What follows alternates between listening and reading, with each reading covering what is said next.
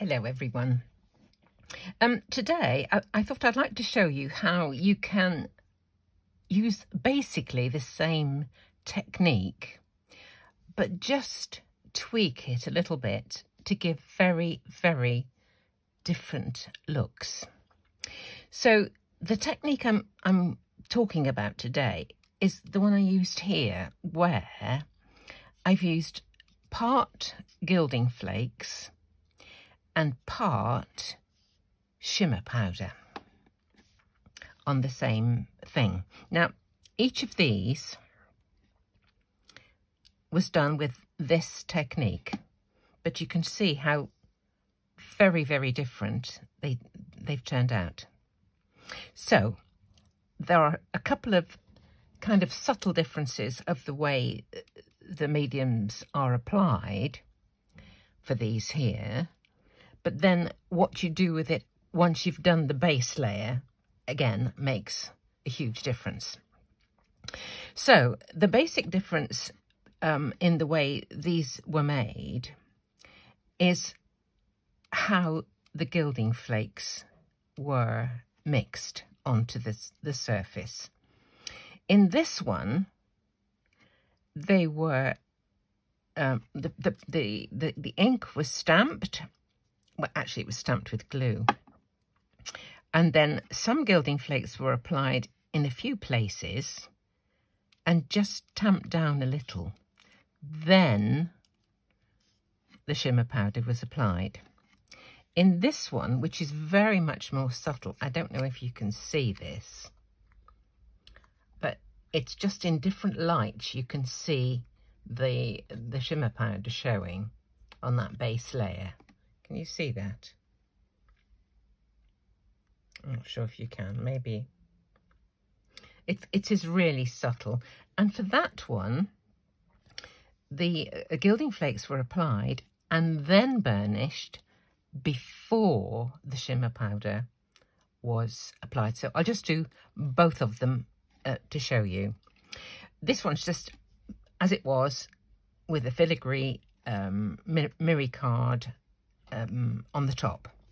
This one was um, covered with some Versamark and then glamour dust attached all over.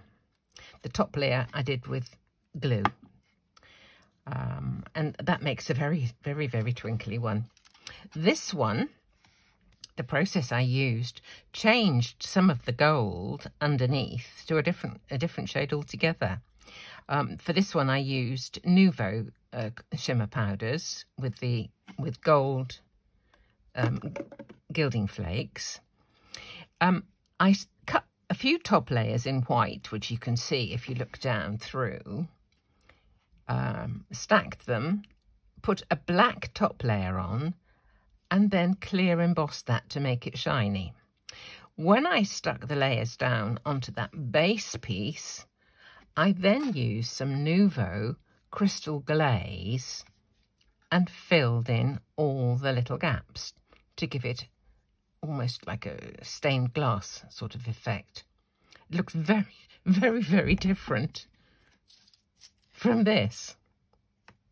Okay, I'll just show you the two methods of, of adding the gilding uh, flakes and the shimmer powder.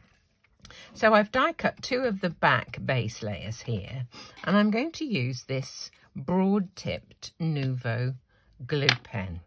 One thing I have discovered is if you try and go over the same place twice when you are putting the glue layer on, it will put the second pass over will pull up some of the first. So try and do it all in one go. Make sure your nib is well um, supplied with glue and then just put it over like this, all over.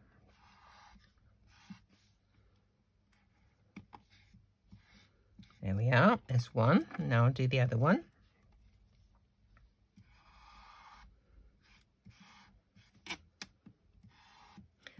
Haven't used this Nuvo um, glue until I bought this couple of things.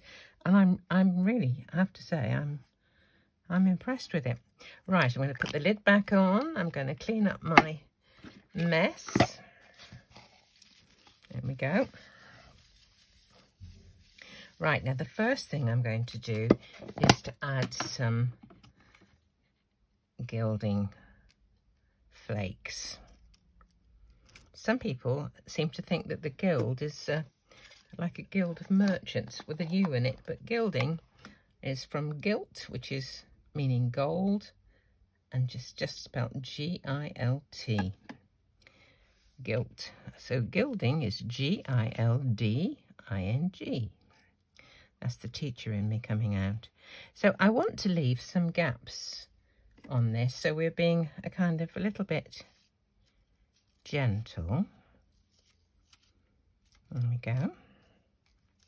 Oops, daisies, put a bit up there. Same on the other one. Put some and leave some. I don't need a hair on it, do we? That can go away. Thank you very much. Okay. The last time I was doing this, my little granddaughter Cleo was in the craft room with me helping. Some of you may have seen her little fingers adding a few flakes for me. She does love to come make cards whenever she comes to stay. It's so lovely, so lovely. Right, put a bit of that on there. I think we've got enough. That's probably enough. Right put the lid back on. And I'm just going to tap them down a little bit. Let me hold it down with a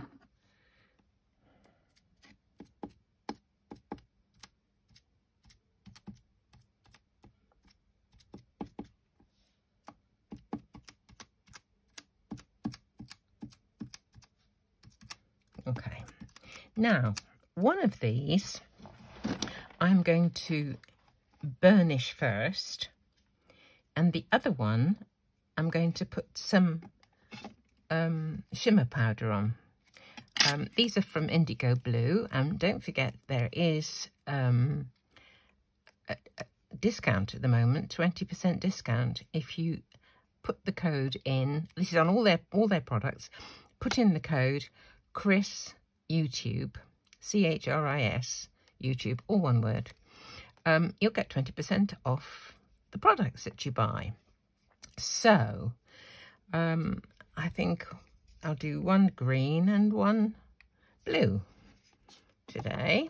So, this one, I think I will put um, the powder on first. Try a blue one. And how I'm going to put this, oh, this is a really turquoisey blue. How I'm going to put it on is by using a very soft, fluffy brush. This is actually a Perfect Pearls brush. So um, here, just don't want too much. Actually, I think I'll do that on this one. I'll do the, the, the colour first on this one. Just going to add the colour before burnishing.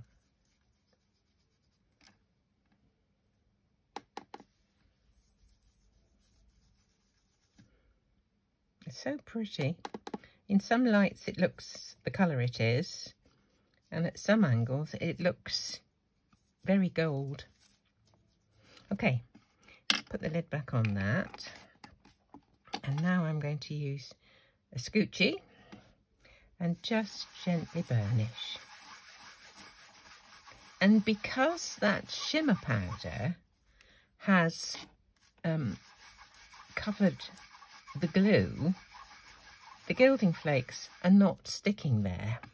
They're just sticking where they've been put. Okay, see that? So that's that one. I'm just going to clean this mess because I think I might do that one green. Okay. So this one was tamped down and then the shimmer powder added. This one I'm going to burnish first. Here we go.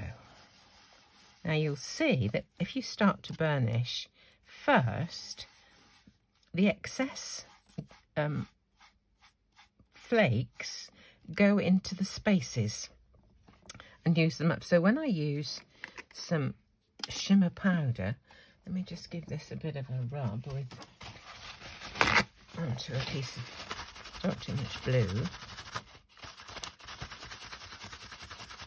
It's not too bad, I don't think. A bit of green on here.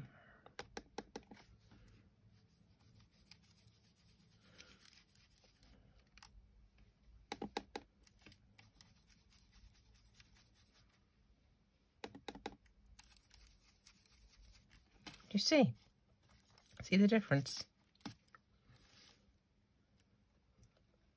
Can you see those two? Let's see if we can come in a bit closer. Seem to have lost the picture on my phone camera remote. Let's have a look. Let's come in a bit closer.